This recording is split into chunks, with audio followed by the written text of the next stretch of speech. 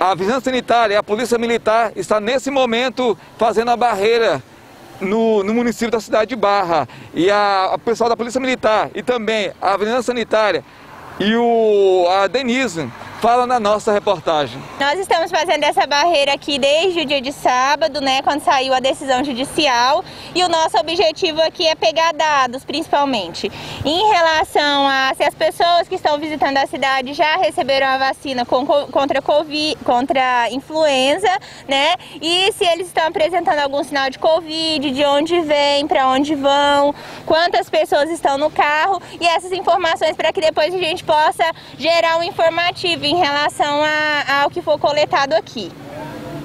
Aqui já entrou muita gente de outras cidades, sem ser Barra, Aragaço, Pontal, vem muita gente fora por aqui? Sim, na verdade a Polícia Militar ela direciona é, com prioridade para nós as placas de fora da cidade, então é gente de tudo quanto é lugar.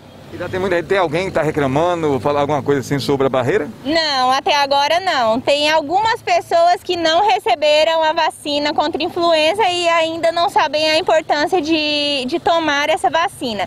Mas em relação a pessoas com febre, graças a Deus a gente não pegou ninguém e nem pessoas apresentando sinais específicos de Covid. Mas caso isso aconteça, a gente tem que encaminhar para a unidade de saúde para passar por consulta médica. Vocês estão ficando aqui o dia todo? Quais os horários vocês ficam aqui e os horários que vocês deixa aqui o local? Então, infelizmente, o início das barreiras ele coincidiu com é, os novos decretos, né? Então a gente está com muito trabalho. A gente está ficando aqui só no período da manhã, mas a gente está estudando a possibilidade de ampliar essa barreira ou não. Positivo, estamos aqui com a Defesa Civil, Vigilância Sanitária, né?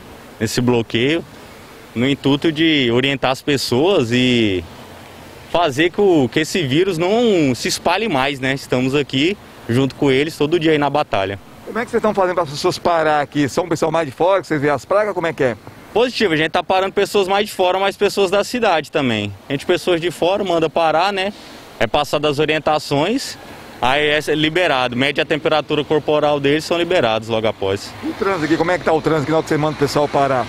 Não, o trânsito tá tranquilo, tá fluindo normalmente. Na verdade, não diminuiu muita coisa não. Pois é, você viu que eu falei com o Patrick, nós estamos nesse momento aqui na entrada da cidade de Barra do Garça, entre Barra da Garça e Pontal do Araguaia. E a imagem é dele, do Yuri, neném da Ueva, para o Comando Geral.